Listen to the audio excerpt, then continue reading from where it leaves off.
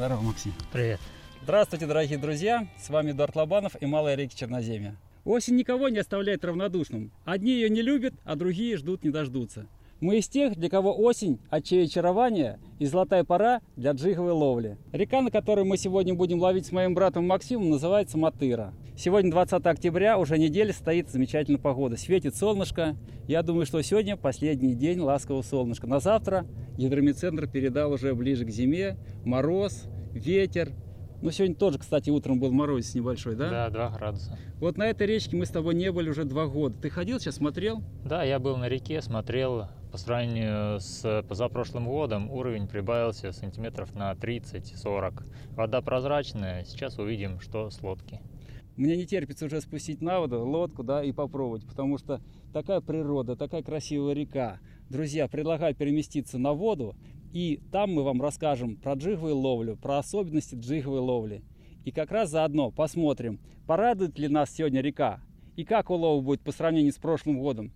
А то, может, вообще ничего не поймаем. Но мы оптимисты, мы обязательно поймаем и вам расскажем об этом. Вперед на воду, на рыбалку.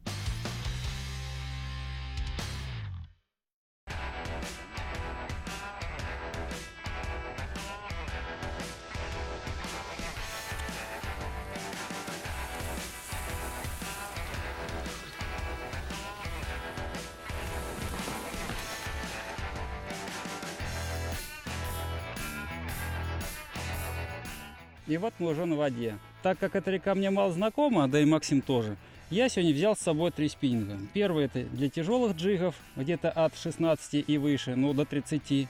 Э, значит, расскажу подробнее о спиннинге.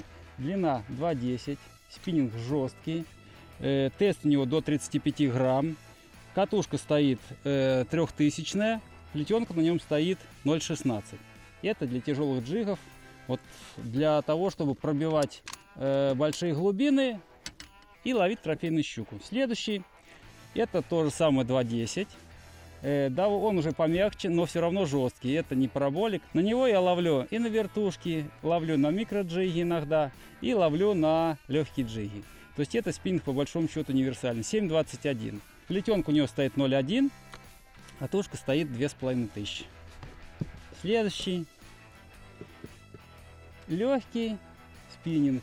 Длина этого спиннинга 2,20, вершинка от другого спиннинга, какая-то дешевая, которую я подобрал по диаметру в магазине, но тест у нее около 4 грамм. Катушка тысячная и особенность стоит плетенка 0,06 и без поводка. Вот этой снастью я буду искать окуня на микроджиг, на маленькие приманки. Ну, буду рисковать, потому что окунь иногда э, в таких запрессованных водоемах очень себя ведет э, настороженно. Вот э, такая тонкая плетенка 0,06 грамм. Даже не стал сюда ставить ни флюорокарбон, ни какой-то другой, даже самый тонкий поводок. Именно поисковый снасть. Если найду окуня, если он будет активный, значит буду ловить другими, с поводками. Если он будет пассивный капризничать, вот такой ну, срежет щука. Ну, теперь пускай срежет, пускай ест. У нас микроприманок много, мы не жадные. А большую щуку мы поймаем на большие приманки. Максим, а у тебя что? У меня спиннинг 3.14 с плетеночкой 0.1. Ну, ловлю все. Универсальный. Есть, есть... есть спиннинг, конечно, и 10.30, но использую редко. Будет возможно, сегодня использую. Сейчас пока поставил вот 3.14. То есть у тебя стоит поводок титановый? Титановый поводок, да. И, в принципе, это у тебя диапазон э, теста такой вполне устраивает для того, чтобы ловить и окуня, и щуку, да? Да, микроджиг и средний джиг на щуку. Но я вам хочу сказать по секрету, что Максиму нравится очень этот спиннинг, поэтому он на него ловит все, даже крупных щук. Он никогда практически не ставит вот тяжелые джиги, а именно пользуется э, лайт, лайтовыми приманками. Приблизительно самый большой у него джиг, ну где-то самый большой, это 16 грамм. А так в основном 5, 6, 7 до 10 грамм. Но я предлагаю все-таки плавно перейти к рыбалке, потому что мне уж хочется половить. И первый заброс я буду делать. Вот у меня средний спиннинг. И насажен у меня здесь имитация рачка. Ну, с Богом.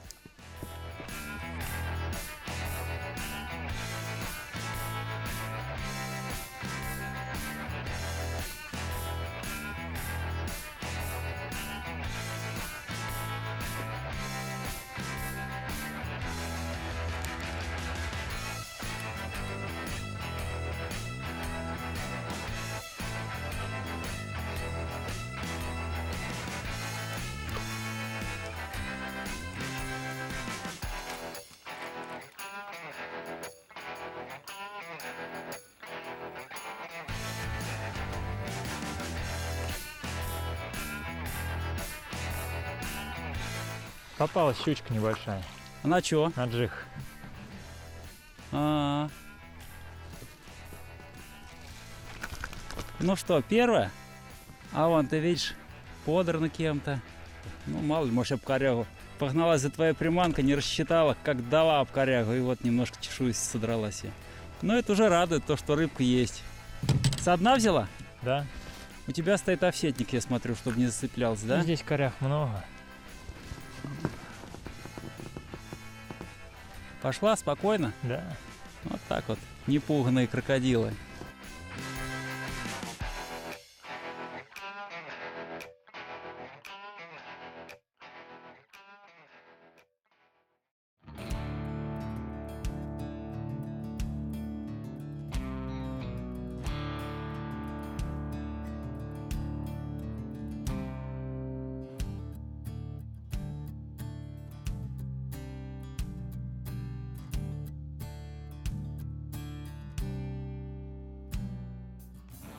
Время летит незаметно. Прошло уже два часа. За два часа можно подвести некоторый итог. Максим поймал одну щучку, одна у него сорвалась, и два раза у него выходил, стучал, ну, наверное, скорее всего, окунь.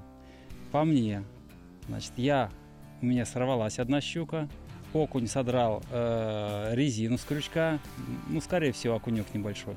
И вот только сейчас был еще один бот. Все, ну, честно говоря, очень мало. Такие красивые пейзажи, такая прекрасная природа. Но погода, конечно, некоторым нравится, но мне такая погода для ловли именно спиннинга щуки не нравится. В такую погоду у нее явно выражены э, охотничьи промежуток времени, будем так называть их. То есть утренний промежуток времени, когда она активно выходит, и вечерний, вечерняя зорька. Если было бы пасмурно, активность у нее могла бы быть в течение всего светового дня. Пасмурно, облачка, ветерок. В такую погоду. Но мы будем надеяться, что на вечерней заре нам повезет. Пока до вечерней зари еще далеко, но я сейчас больше чем уверен, что одно мгновение вечерняя заря, и я вам скажу, дорогие друзья, на этом я с вами прощаюсь. Но пока я с вами не прощаюсь, мы будем ловить рыбу и пытаться ее поймать. А когда поймаем, поделимся с вами своими впечатлениями. Ах ты, собака такая. Брал окунь, потому что приманочка маленькая, и тычок был такой. Вот, и вот видите, снят приманка, вот с крючка. То есть он схватил за хвост, потянул и стащил ее.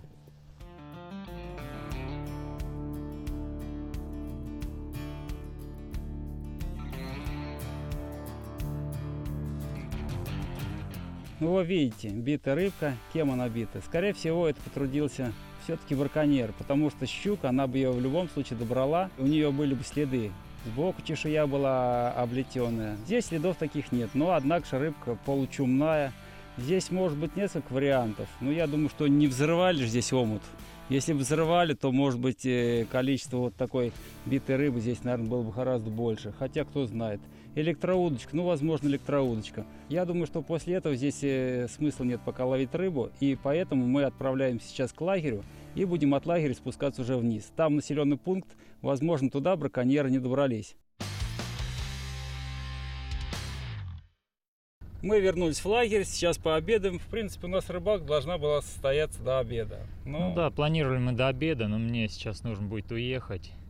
Поэтому вы продолжите без меня. Ну да, я хочу остаться, потому, потому что такая природа, такая речка, все замечательно, корях много, рыб должна быть. Ну не, не ловится она сегодня, бастует. Попробовать на вечерней заре, может быть, получится. Ну да. Ладно, Максим, давай, спасибо Давай, тебе. Что у нас счастливо. сегодня получилось или Вечером получится? созвонимся. Созвонимся вечером, да, и увидишь в передаче, как у нас прошла вечерняя заря. Все, Хорошо. давай, пока, спасибо. Ну что, а мы обедаем и продолжаем ловить рыбу.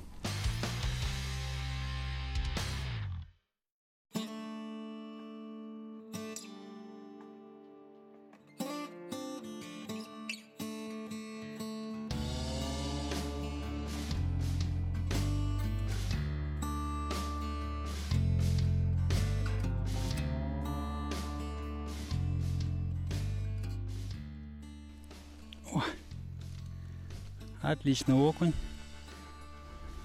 Попался на джиг, головка 9 грамм. Нейтрального цвета такой виброхвостик. Вот у меня стоит джиг-головка 9 грамм. Это означает, что это э, приманка лайтовая, то есть легкая. Ультралайт, как правило, ну, есть разные градации, но, как правило, это э, вес вот этой приманки до 5 грамм. Соответственно, есть ультралайтовые удилища, которые э, замечательно посылают ну, приманки такие до 5 грамм, очень далеко, как бы ловить на них комфортно. То есть они гибкие, легкие. Лайтовые спиннинги это уже до 20 приблизительно грамм, может быть чуть побольше. Следующий класс, это третий класс, это heavy. Это то есть э, крепкие такие э, спиннинги, которые отправляют тяжелые приманки, будь то и джиг-головки, будь то поролонки и некоторые другие приманки. То есть там уже веса 50-60, это значит, во-первых, на крупную рыбу, во-вторых, на больших глубинах, третье, ну, есть такие люди, которые вот нравится им ловить вот такими тяжелыми спиннингами, тяжелыми приманками. Но это нормально, потому что, как правило, на такие, на большие рыбы рыбак чаще рассчитывает на трофейную поимку рыбу.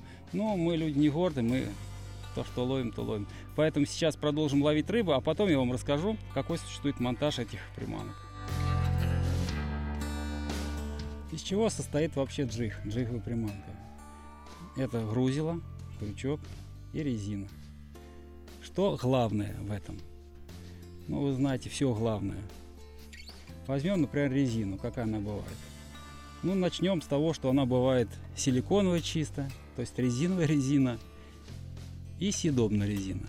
Какое отдать предпочтение, съедобной или с- чисто силиконовой резину? Ну, вы знаете, когда рыба активна, она берет прекрасно и несъедобную резину, а когда она пассивная, то и съедобная резина тоже, ну и выручает она, конечно. Съедобная резина отличается тем, что э, в ней как бы заварен, когда варят вот эту резину, когда варят э, тело приманки, то туда добавляют аттрактанты и всевозможные пахучие вещества. Вот. Ну, кроме того, она, как правило, бывает соленой. Крайней мере, мне всегда такое попадалось. Не знаю, это такая технология. Вот. Ну, силикон чистый, он и есть силикон, ничего туда не добавляет. Но при том, что силикон хранится гораздо более долго и используется более долго, чем съедобная резина. Ну, понятно, съедобная резина, она просто более, э, тело у нее более рыхлое, чем у резиновой. Если говорить про форму силиконовых рыбок, то они вообще бывают совершенно разнообразные. И я даже скажу, что очень много сейчас не то, что рыбок выпускается, а какая-то, знаете, пародия на рыбки. То есть совершенно не похожа на рыбку, то какой-нибудь ребристый, то тело узкое, то... Ну, то есть э, приманка, которая не похожа на рыбку, но вибрация от нее идет гораздо больше, чем от классической формы. Есть пассивные приманки, это типа червяки, пиявки, и есть активные. Это о, типа виброхвостики, твистерочки. Кроме того, есть еще такой э, целый, можно сказать, класс приманок джигов. Это все-таки поролон. Я, к сожалению, может быть, к счастью, не знаю как, но я на него не ловлю, поэтому много рассказать я вам не могу. Знаю, что люди прекрасно ловят на поролон, не хуже, чем на силикон, а может быть даже лучше, и счастливы. Ну, я к таким, как сказал, не отношусь. Мне нравится больше ловить на силикон и на съедобную резину. Опа! Него попался. Видите, активность у него небольшая, но заглотил полностью.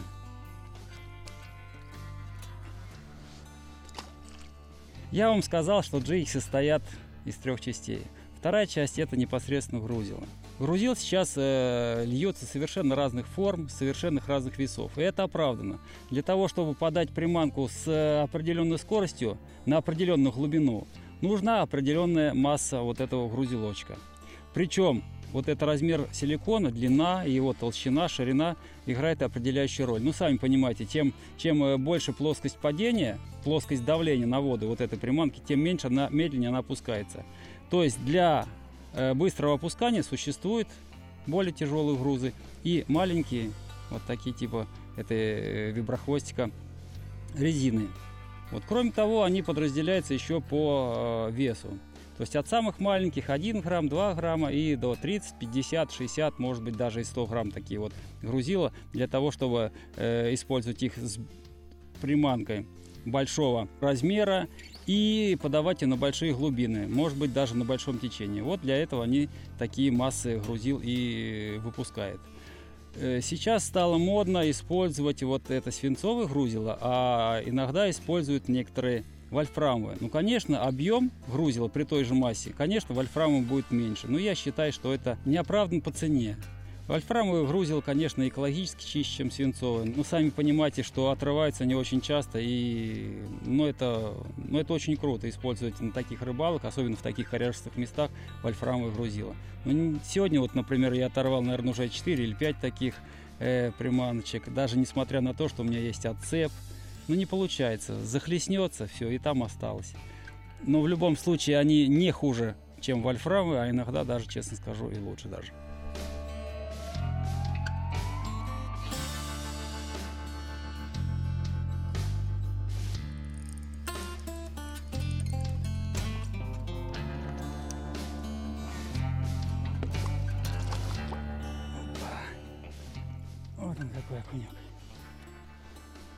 Полностью приманку заглотил. Вообще сегодня поклевки очень интересные. Вот, но для того, чтобы ловить вот такого окуня, надо до этого дойти. Сегодняшний окунь, он, конечно, чудной или чудный, не знаю, как сказать. Во-первых, он стоит практически на середине омута. И проводка интересна для него. Ну, давайте я его отпущу. И проводка очень интересна, а по большому счету отсутствие. Забрасываю приманку, жду, пока она упадет на дно и лежит там. Лежит секунду, вторую, делаю небольшую потяжку. Нету. Еще потяжку. Нету. Еще потяжку. Нету. Ну, все, вот так до лодки дотаскиваю. Ну, значит, нету. А по большому счету забросил, лежит, чуть потянул, прям капельку. Поклевка и окунь у меня в руках. То есть интересно, у активности нет, поэтому на быстро движущуюся не берет. И даже на медленно движущуюся он сегодня практически не берет. Вот только на пассивную, практически обездвижимую вот эту вот резиночку он берет довольно-таки уверенно и крепко. И окуньки-то, я вам хочу сказать, такие неплохие. 150-200 грамм. Речка ощущение такое, как мертвая. Вот ровная поверхность воды, ничего нигде не всплеснет, не шелохнется. Но я думаю, что это связано с осенью.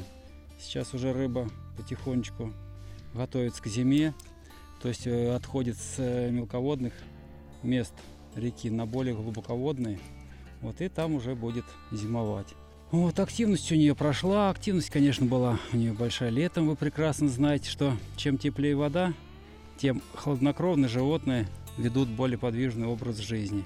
Вот, а сейчас наступают их такие, э, будем говорить, не анабиоз, но в любом случае у них все процессы заторможены, и они ведут более пассивный образ жизни. Уже не выходят наверх, не играют, не веселятся, а именно где-то там притаятся. Я имею в виду про молоть, я имею в виду про белую рыбу, вот, и отстаиваются. Но щука, конечно, окунь, это же ведь все равно потенциальная еда, вот эти вся молоть. Они где-то там шустрят между ними, какую-то больную рыбку подберут. Ну, может быть, если здоровый зазевался, тоже ей не побрезгуют. Но впечатление как бы не как летом, когда речка вся живет, играет. Ну, лишь бы рыба ловилась.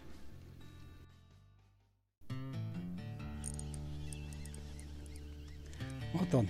Я думаю, окунь небольшой. Ага. Вот он окунек. Полностью захватил.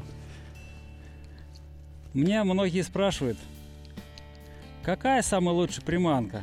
Это джиг? Я вам хочу сказать, что нет, это не джиг. Нет самых хороших приманок и нет самых плохих приманок.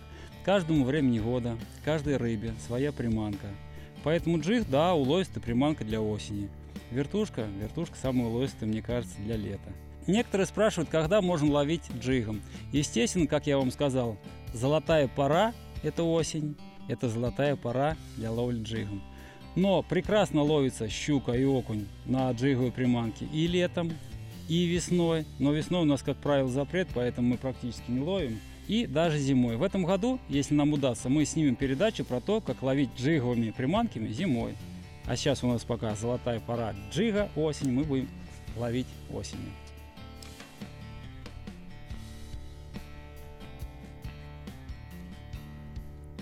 В джиге все важно. Вот, например, есть у нас уловистый джиг. Один ловит на него, другой нет. В чем проблема? Это проводка. Что такое, собственно, проводка? Это скорость подачи приманки. А скорость подачи приманки зависит от того, от того насколько активна рыба. То есть стоит рыба, видит, перед ней проплывает потенциальная добыча.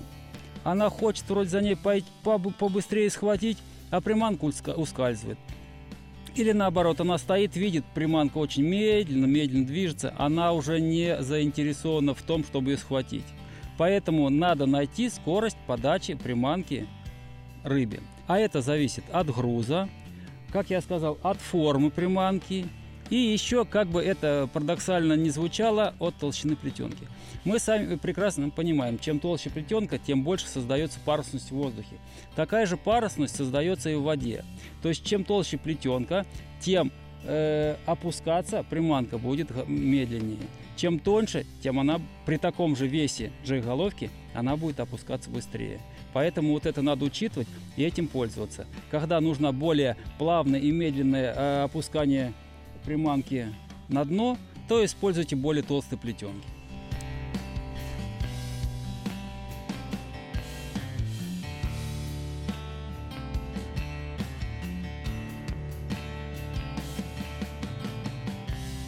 На таких реках, вот где обилие корях, очень часто э, приманки зацепляются. Для того, чтобы они не зацеплялись, в джиге есть офсетный крючок и вот такой монтаж. Берется приманка, прокалывается спереди, заводится ну, вот на такую ступенечку и протыкается. Вот так проткнулась. Ступенечка это натягивается как бы сюда. И главное, вот этот острие крючка, оттягиваем ее, и все. И у нас она получается, видите, все у нас коряшки, она минует.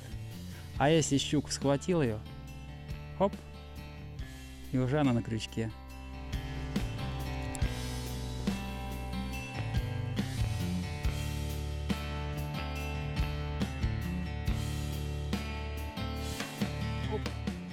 Срез. Первый заброс опять поставил без поводка, ловил до этого приблизительно минут 40 с поводком. Ни одного бора не было, ни одной поклевки, ни одного тычка. Поставил а, 0,06 без поводка. Первый, как я сказал, заброс метров, наверное, на 50. Буквально 3 метра провел удар. Все, срез. А срезает очень просто. Дальний бросок, когда она планирует, она полностью ус- успевает заглотить приманку, время есть у нее, планирует она, не планирует, а тонет она не очень быстро, потому что длина плетенки большая, она все-таки задерживает момент, когда она совсем потонет, приблизится к дну. И щука атакует, полностью заглатывает. Дерг, и все, и нет приманки. Как ни старался я завершить нашу сегодняшнюю рыбалку с рыбкой в руках, завершаю его в руках только с джигом. К сожалению, надо собираться, выходить на берег, а на берегу уже подведем итоги сегодняшней рыбалки. Солнце закатилось, день практически закончился. Подводя итоги сегодняшней рыбалки, я вам хочу сказать, что река практически не изменилась. Правда, вода стала чище. Коряхи, как они были, так они и остались, никуда они не делись. Рыбы, ну, сегодня стало ее гораздо меньше по сравнению, как э, мы ловили в прошлый раз. Вы спросите меня, доволен ли я сегодняшней рыбалкой? Я вам хочу сказать, очень доволен. Рыбалка не всегда измеряется количеством пойманной рыбы. Посмотрите, какие сегодняшние пейзажи. Мне даже вот мурашки по телу бегут. Это же ведь красота. Я сто лет не видел такой красоты. Золотые краски осени, седой туман, поднимается ранним утром над водой. Ну что может быть красивее? Ну рыба, ну поймаем мы ее в следующий раз эту рыбу, никуда она от нас не денется. А вот эти впечатления от природы, которые мы сегодня увидели, вот эти впечатления всегда останутся при мне. И я думаю, что мы вместе с вами, смотря эту передачу длинными зимними вечерами, будем наслаждаться осенними пейзажами Тамбовской области на реке Матыра. А сейчас я с вами прощаюсь. Всего вам хорошего, до новых встреч. С вами был Эдуард Лобанов и Малый Рейкс Черноземья.